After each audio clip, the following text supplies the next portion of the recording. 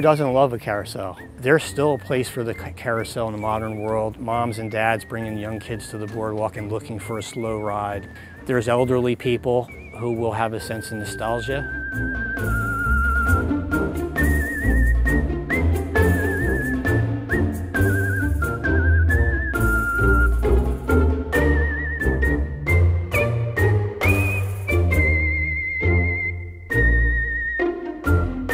One thing I really think is important about carousels in general, and particularly this carousel now after the restoration is, they're a work of art.